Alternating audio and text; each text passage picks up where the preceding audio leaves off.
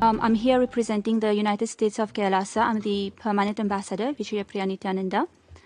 So, Kailasa is the first sovereign state for Hindus, which is established by the Supreme Pontiff of Hinduism, Nithyananda Paramashivam,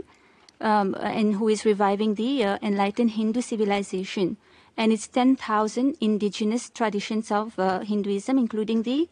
um, Shaivite indigenous agricultural tribes, uh, for which the Supreme Pontiff of Hinduism is the uh, leader as well. And uh, uh, Kailasa has been uh, implementing the uh, ancient Hindu policies and indigenous solutions that are in alignment with the time tested uh, Hindu principles, because of which Kailasa has been very successful with sustainable development. For example, uh, in Kailasa, the uh, basic necessities of livelihood, which is uh, which are food, shelter, clothing, education, medical care, they are all offered for free to all citizens, and including to uh, communities in 150 countries where Kailasa has established uh, uh, de jure spiritual embassies as well as multiple uh, agencies and NGOs.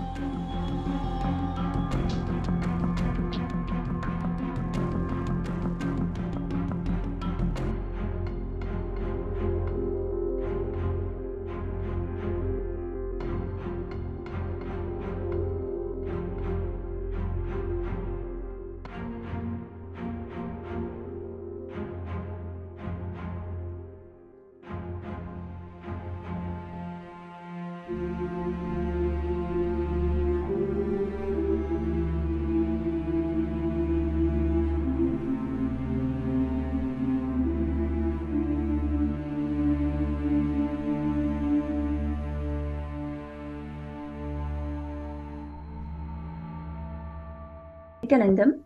we would like to issue a clarification regarding my statement that the United Nations that is being misinterpreted, willfully manipulated, and distorted by certain anti-Hindu sections of the media.